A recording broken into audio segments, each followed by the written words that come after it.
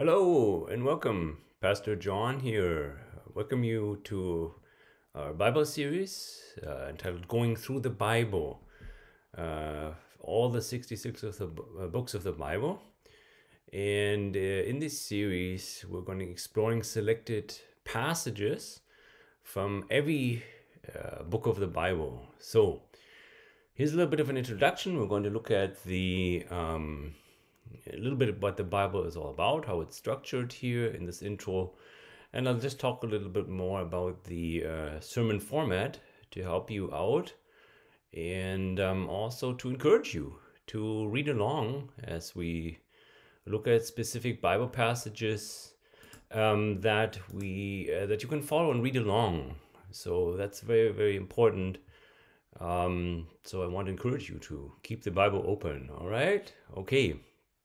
So in this series, we're going to look at a passage, as I said, from every every book in the Bible. So in the Bible, just in general, as a summary, there's 66 books in the Bible, and these are a collection of divine writings. They're God-given and they're revealed to many different people at different moments in time. Um, the time period of the um, recording um, of the Bible is around about 1500 years, so 1500 years. However, that's um, that doesn't mean that what is being written, uh, you know, refers to some events that took back, you know, way further along. In the case of Adam and Eve, for example, real people, real events, um, and the fall and Genesis, um, we're not exactly sure how long ago that was. All right. So um, um, the the canon basically of the Bible is basically the divinely inspired books. It's a set of texts. We call them books. Um, yeah, and they come both from uh, original Jewish and uh, uh, non-Jewish believers, so Jewish and Christian believers. So when we look at the Bible, uh, some of the things, as I said, that were recorded are quite old. So one of the oldest books, we're not exactly sure. It's either Genesis or Job. Um, but um, as Moses writes Genesis, it's probably around, uh, uh, gosh, 3,400 years ago. And the newest book, right, in the New Testament, then that was the Old Testament, and the newest book in the in the New Testament Revelation, was written about roundabout AD 90. So almost uh, a uh, hundred years of, of the, the birth of our Lord Jesus. So um, the Bible is basically made up of the Old Testament and the New Testament. If you know that, uh, this is a little refresher. So we have 39 books in the Old Testament and we have 27 books in the New Testament. All right the the Old Testament has uh, four segments. Uh, um, that is the Pentateuch, Pentateuch. Those are the five books of Moses, and they range from Genesis to Deuteronomy. Uh, that's how the Bible begins. And then we have the historical books from Joshua to Esther. Then the third part is wisdom books, is the book of Job, uh, the Song of Solomon, also known as Song of Songs, and lastly, the prophets, uh, ranging from Isaiah to Malachi.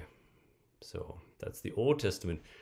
In the New Testament, we've got three main segments. We can uh, we have to divide it into the Gospels. That's the four Gospels: uh, Matthew, Mark, Luke, and John. And then the um, New Testament history. We call it the Book of Acts, which is really awesome, really super book. And then, of course, the letters and Revelation, that is the books of uh, Romans to Revelation. So, um, all these texts, the books are true events, right?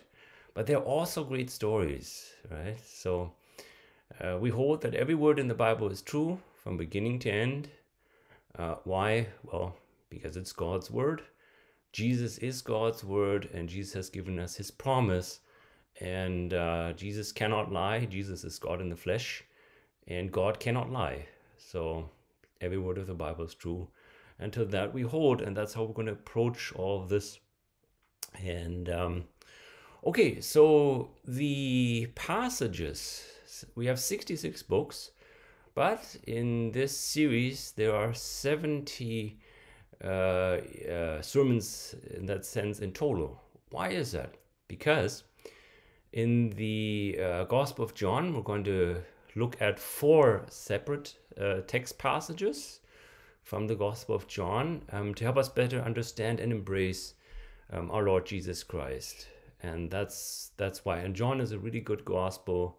We could have picked something else, but John is super. So we've got four. So 66 books in total, and we took four passages from the Gospel of John. So that's 70. So the goal, the goal is to understand who Christ is as God in the flesh and why he came to atone for our sins. That means to to die for our sins, right? That is to die as on the cross so that we as believers in him have eternal life. And also that he is our savior, the Messiah, and he is the one and only who provides salvation.